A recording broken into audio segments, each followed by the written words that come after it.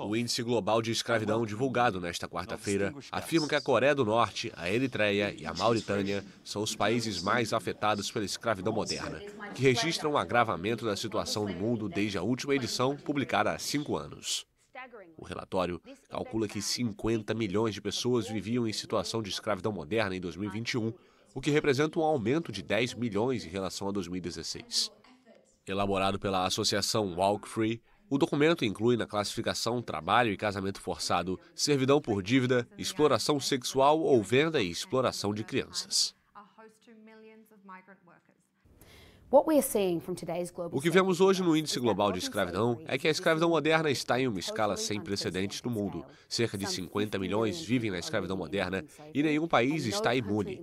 Os países do G20 foram colocados em foco, com mais de 50% das pessoas em escravidão moderna vivendo nesses países.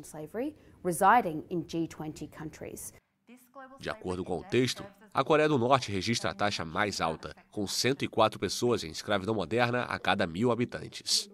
Entre os dez países mais afetados também estão a Arábia Saudita, Emirados Árabes Unidos, Turquia, Rússia, Tadiquistão e o Afeganistão.